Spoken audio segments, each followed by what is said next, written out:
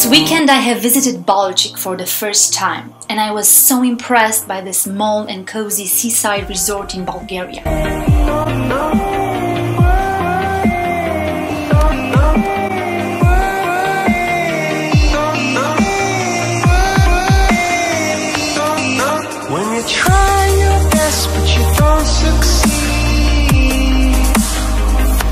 Balchik is best known for being the summer residence of Queen Mary of Romania and her family after 1925 when they started to build the castles and the gardens.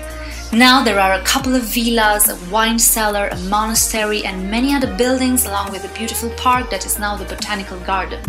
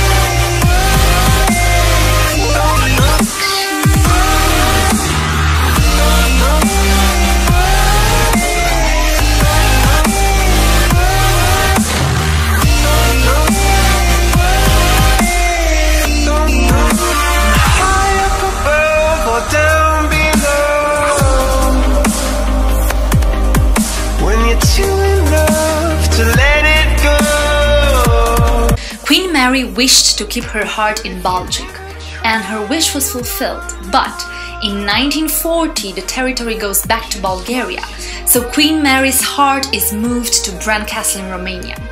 I do understand why she loved this place so much, and although her palace is quite small, more like a villa, the gardens are fantastic.